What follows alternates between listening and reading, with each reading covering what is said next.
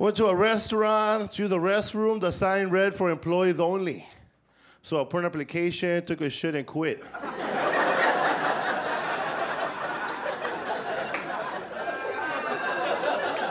I was gonna pee, but I don't want to put in overtime. it's my first day. Relax.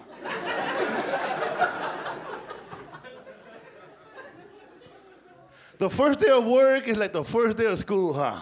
Everybody starts off with an A.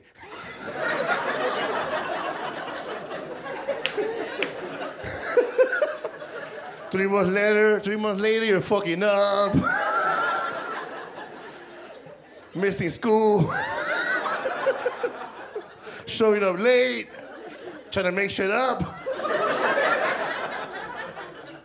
Except in school, you get suspended. You get to come back. In real life, you get fired. Fuck you. White people get pissed off. They come back and kill everybody. Mexicans, we know we're gonna get fired. We'll start stealing shit before we leave. yeah, I'm gonna get fired, but I'm gonna get it for 800 bucks.